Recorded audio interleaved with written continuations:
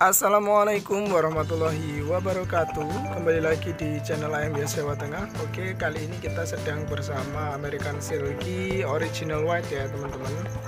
Uh, Jadi di sini ada empat ekor Ada tiga betina Satu, dua Dan di balik jantannya. Nah itu kelihatan Dan satu jantannya Nah, uh, untuk ayam American Silky sendiri ini berbeda dengan ayam kapas. Di situ perbedaannya adalah dari segi bentuk bulunya. Jadi kalau memang American Silky sendiri kan bulunya dia lebih tebal ya, bisa dilihat di kaki, kemudian di paha, kemudian di ekor, di badan ataupun tubuhnya dia lebih membulat kemudian nanti di leher dan juga di kepala dia lebih full. Nah ini untuk jantannya udah dipotong ya teman-teman. Sebelah jenggot sudah dipotong karena menutupi mata dia nggak bisa lihat dan nggak bisa mengawini betinanya. Kemudian di bagian bawahnya juga. Nah untuk selanjutnya dia juga dipotong di bagian kepalanya. Ini dipotong karena memang uh, susah dia untuk melihat karena itu menutupi matanya betinanya ini dia uh, dipotong sininya bagian jenggotnya terus ini bagian kepalanya. Tadinya dipotong cuman ini udah tumbuh cuman belum beraturan. Karena memang dikawini sama jantannya terus. Nah itu.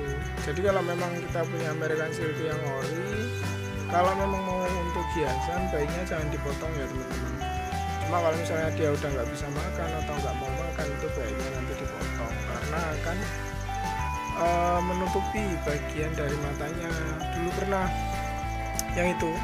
Itu kan yang saya potong cuman bawahnya. Itu atasnya belum tak potong. Nah uh, dia susah makannya. Bahkan nggak mau makan teman-teman. Itu jenggotnya masih ada.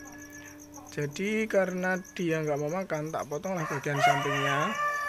Kemudian setelah dipotong dia baru bisa makan nah dari situ uh, buat pengalaman aja. Jadi kalau misalnya udah dewasa dan nggak mau makan bisa lah dipotong ataupun uh, sedikit dikurangi bagian matanya biar dia bisa melihat.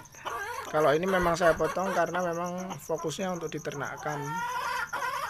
Uh, karena memang kita tujuannya adalah untuk breeding seperti itu. Nah untuk harga American Silky sendiri juga masih cukup tinggi ya teman-teman. Untuk yang ori seperti ini itu masih uh, di atas satu juta per ekornya di usia dua bulan itu biasanya seperti itu.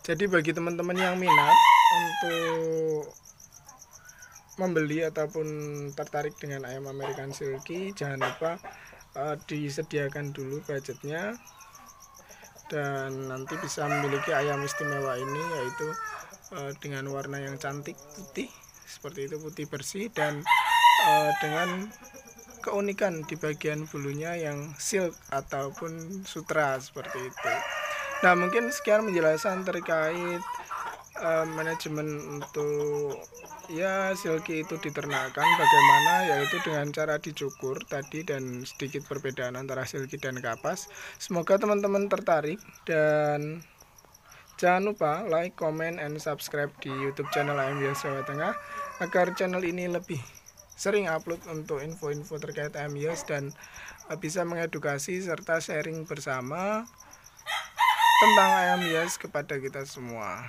Sekian, wassalamualaikum warahmatullahi wabarakatuh.